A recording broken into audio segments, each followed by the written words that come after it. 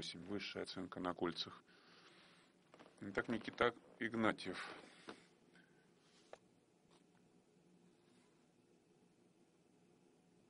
Ленинск-Кузнецк. Подъем силы в горизонтальный упор. Опускание в задний. Опять горизонтальный упор и опускание в задний. Подъем силы в крест. Три силовых элемента. Дальше должны идти маховый элемент обязательно разбавить. Подъем махом назад в стойку. Два сальта согнувшись. Двойное сальто в группировке. И хонма в крест. Неплохо. Можно было немножко еще подержать для уверенности, но в принципе все засчитано. Подъем махом назад в горизонт, ноги врозь, большой оборот назад. И двойной сальто с двумя винтами. Ну, достаточно сложная у него комбинация.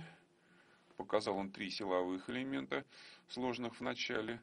Потом еще один подъем махом назад в горизонт, ноги врозь. Ну, нельзя сказать, что это какая-то супер сложная серия силовых элементов. Конечно, на международном уровне специалисты на кольцах делают сложнее комбинацию. Но сейчас посмотрим.